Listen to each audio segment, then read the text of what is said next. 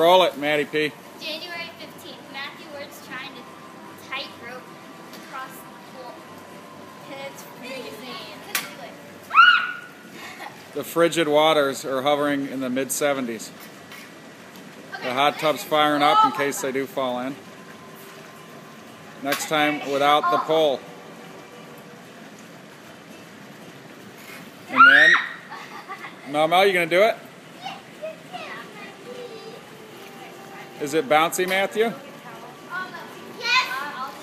we'll bounce to the rope. Play ping pong. And Pope is ready. Yeah.